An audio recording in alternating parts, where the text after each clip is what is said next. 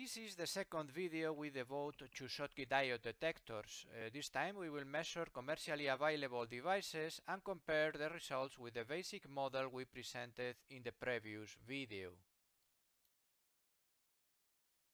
We have several Schottky diode detectors in our lab. Uh, here we can see two samples of three different models. The Crystek detector works at frequencies up to 4 GHz and they are qualified to detect powers between minus 10 and 30 dBm. 30 dBm is just 1 watt of power. This is quite high for a radio frequency signal. Therefore, these devices are optimized for high power applications. They are fairly affordable with a cost of around 30 euros. Hewlett Packard devices are quite old. Uh, they are in our labs since more than 20 years but either these or other models very similar to these ones are still commercially available. They are specified to detect powers from minus 30 dBm, this is 1 microwatt, and 20 dBm at frequencies up to 18 GHz.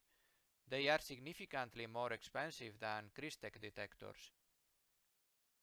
We will test the devices with a simple setup shown here, where the input power will be provided by a mini-circuits sweep generator.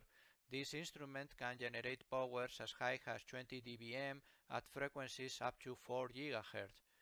We have chosen a frequency of 1 GHz for these tests. Uh, the DC voltage measurements will be made with a Fluke uh, 45 multimeter.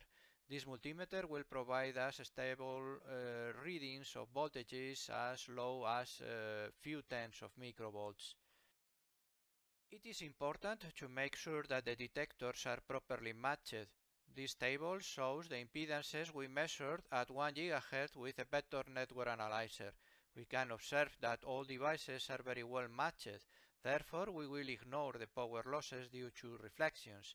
These measurements were made for a nominal output power of 10 dBm. We know that uh, these detectors are nonlinear devices and therefore it is convenient to check what happens at lower powers. We did it. We did a few tests uh, doing the calibration at powers of uh, minus 20 dBm and observed in all cases very small variations of the input impedances. Let us remember the equation we obtained in the previous video to predict the output voltages to be measured with a Schottky diode detector.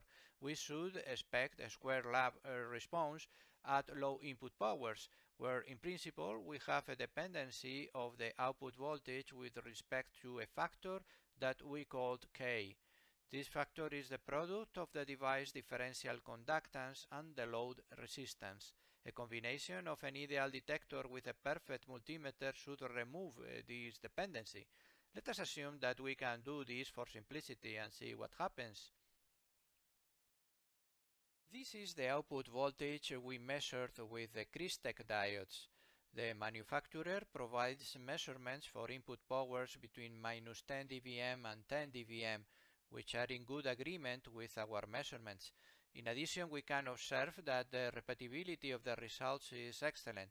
Both diodes provide uh, nearly the same voltages. Let us compare these measurements with the theory. Oof, could be better. The discrepancies are really strong. It is not only the fact that the numbers uh, differ a lot, we can also observe that the device does not show the square law response we expected at low input powers.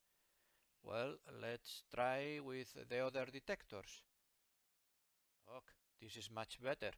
We don't have a perfect fit, but at least the measurements behave as they should and are not too far from the ideal response. And yes, you guessed it, the last one is the best one. Here it is, HP8472B. This device uh, shows an almost perfect behavior at the lowest input powers. We can observe that uh, the HP devices exhibit a slight lack of repeatability between two nominally identical devices.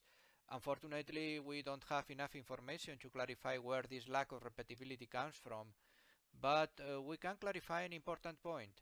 It cannot come from the measurement system.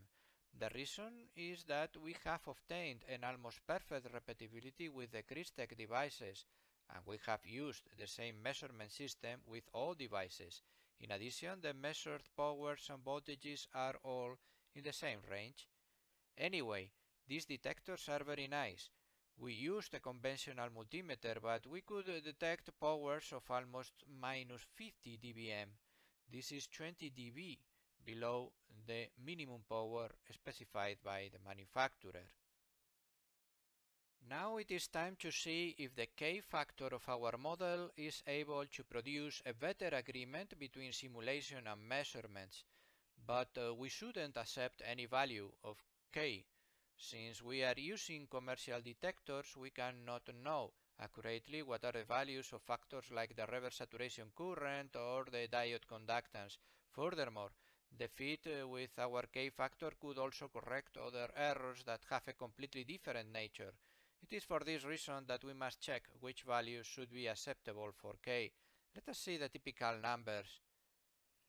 We know that the ideality factor should be between 1 and 0.1 and the reverse saturation current should be something between 1 and 10 nanoamperes.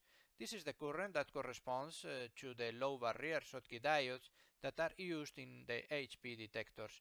We also know the multimeter resistance and the thermal voltage with reasonable accuracy. So we compute a range of possible values for k and obtain that this factor should be something between 0.3 and 3. Now let us try these margins. Here you can see two simulations with k factors that are close to the numbers we were expecting. The values of k are therefore reasonable, so we can conclude that this fit is not just a pure mathematical fit. It is physically acceptable for the HP devices, but the model is not valid for any Schottky diode. The Crystek detectors are clearly not square law devices. We must be honest, we cannot determine what is the reason. We have no knowledge on the internal structure of these devices, but this shouldn't bother us too much. Crystek devices were optimized for high power applications, so they don't need to present a square law response. We have shown that Schottky diodes allow us to detect signals with inexpensive multimeters, but they also have other interesting applications. We will talk about them in our next video.